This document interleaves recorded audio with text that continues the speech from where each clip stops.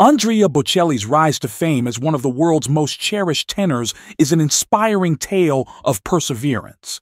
His voice, rich and deeply emotive, has touched countless hearts across the globe. But behind his remarkable success lies a story marked by adversity and unbreakable resolve.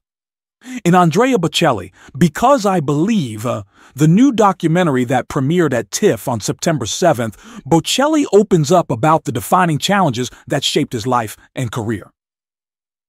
A talent revealed early on. From a young age, Bocelli displayed an extraordinary gift for music, a passion that only intensified with time. Determined to pursue his dreams, he immersed himself in opera, dedicating years to perfecting his craft.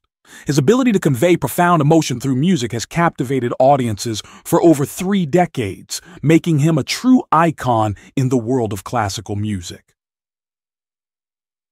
Battling glaucoma from birth. Born with congenital glaucoma, Bocelli's eyesight was severely impaired from the beginning. I was extremely short-sighted, he reveals in the documentary. I could see everything, but only up close. The colors, the shapes, I remember it all so vividly. His early years were filled with surgeries, 13 operations by the time he was just three and a half years old. Yet, despite these efforts, his vision remained limited.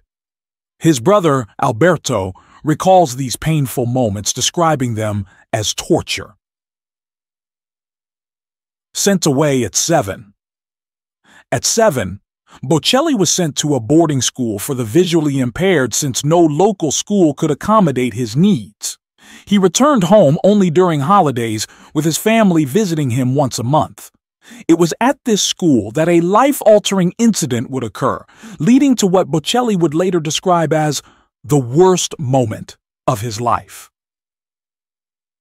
The soccer accident that changed everything.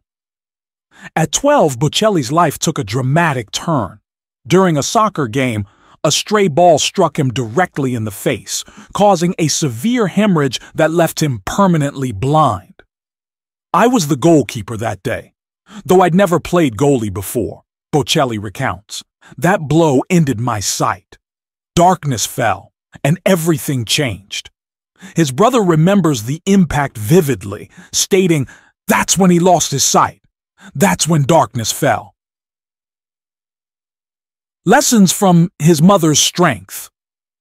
The accident was a crushing blow, but Bocelli's resilience, nurtured by his mother's teachings, kept him from surrendering to despair. She raised him to be courageous, to avoid self-pity, and to always face life with dignity. I was never seen as a poor boy in our family, and neither did I accept that view. Bocelli explains. His mother instilled in him a strength that would serve as his foundation, with courage, with a lot of courage. Turning adversity into art. This life-changing moment could have ended Bocelli's dreams. Instead, he used it as a turning point, channeling his emotions into his music. His ability to transform loss into artistic brilliance speaks volumes about his indomitable spirit.